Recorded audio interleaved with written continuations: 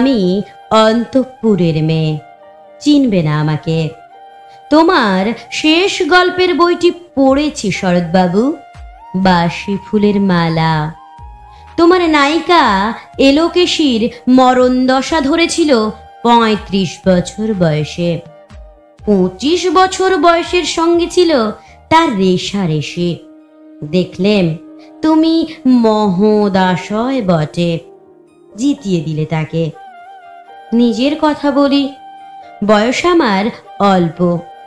একজনের মন ছুঁয়েছিল আমার এই কাঁচা বয়সের মায়া। তাই জেনে পুলক লাগতো আমার দেহে। ভুলে গিয়েছিলেন অত্যন্ত সাধারণ মেয়ে আমি। আমার মতো এমন আছে হাজার হাজার মেয়ে।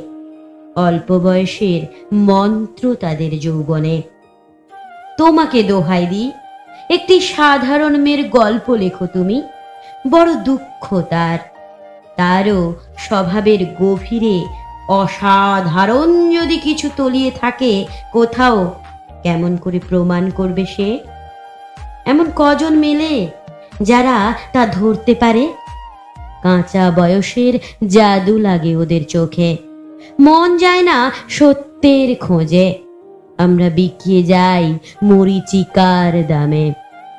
কথাটা কেন উঠল তা বলি। মনে করো তার নাম নরেশ। সে বলেছিল, কেউ তার চোখে পড়েনি আমার মতো। এত বড় কথাটা বিশ্বাস করব যে সাহস হয় না না করব যে এমন জোর কই? একদিন সে গেল বিলেতে। চিঠিপত্র পাই কখনো বা?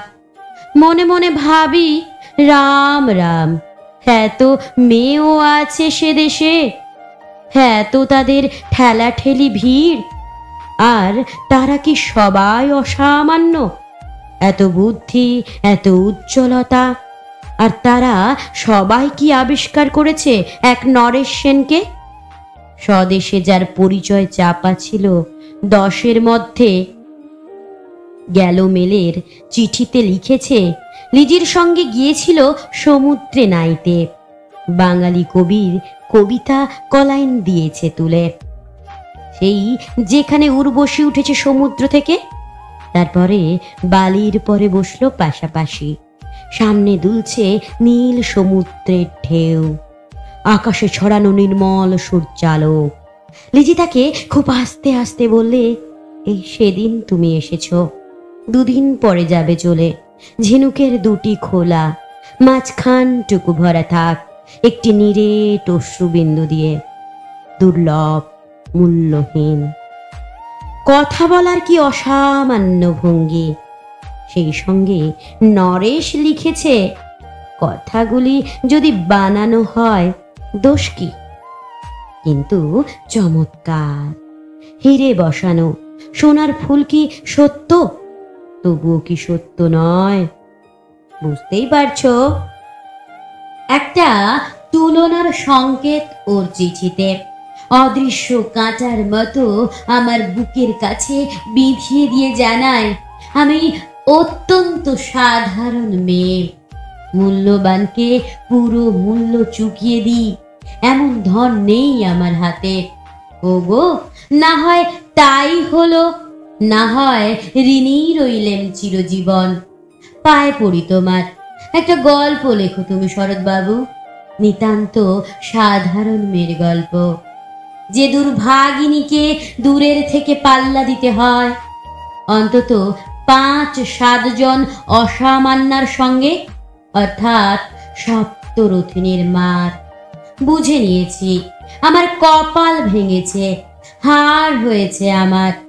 কিন্তু তুমি যার কথা লিখবে, তাকে জিতিয়ে দিও আমার হয়ে। পড়তে পড়তে বুক যেন ওঠে ফুলে।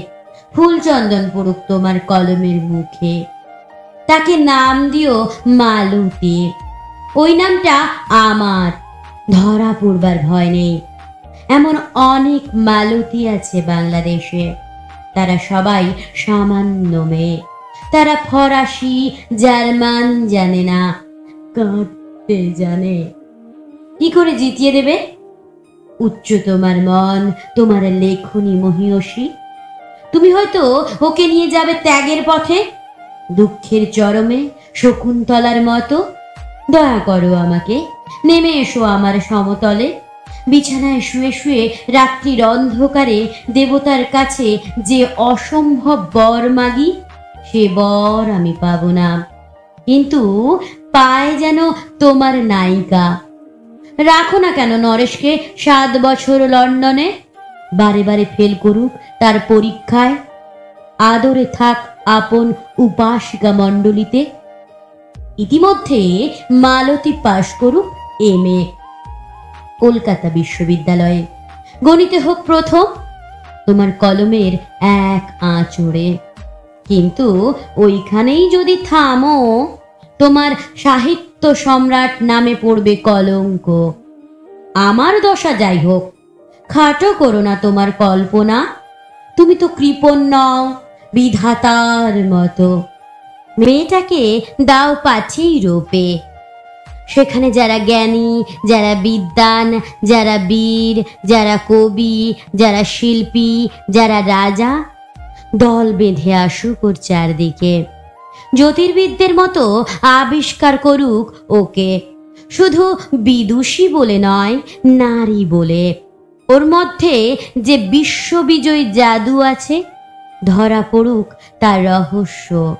নূরের দেশে নয়, যে দেশে আছে সমাজদার, আছে দরদি, আছে ইংরেজ, জার্মান, ফরাসি। মালতীর সম্মানের জন্যে সভা ডাকা হোক না। বড় বড় নামজাদার সভা। মনে করা যাক, সেখানে বর্ষণ হচ্ছে মুসলধারে চাটুবাক্য মাঝখান দিয়ে সে চলেছে অবহেলায়। ঢেউয়ের উপর দিয়ে যেন পালের নৌকা। ওর চোখ দেখে ওরা করছে কানাকানি। সবাই বলছে, ভারতবর্ষের সজল মেঘ আর উজ্জ্বল রৌদ্র। মিলেছে ওর মোহিনী দৃষ্টিতে। এইখানে জনান্তিকে বলে রাখি, সৃষ্টিকর্তার প্রসাদ সত্যিই আছে আমার চোখে। বলতে হলো নিজের মুখেই। এখনও কোনো ইউরোপীয় রসজ্ঞের সাক্ষাৎ ঘটেনি কপালে। নরেশ এসে দাঁড়াক সেই কোণে। আর তার সেই অসামান্য মেয়ের দল। আর তারপরে? তারপরে? আমার নোটে শাকটি মুড়লো, স্বপ্ন আমার ফুরলো। হায় রে সামান্য মেয়ে, হায় রে বিধাতার শক্তির অপব্যয়।